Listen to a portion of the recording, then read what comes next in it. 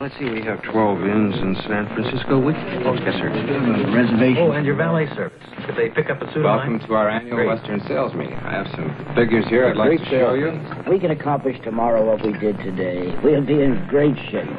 Today, this Holiday Inn made 463 businessmen a little more efficient by making them a little more relaxed. So next time you travel on business, stay with Holiday Inn, the most accommodating people in the world.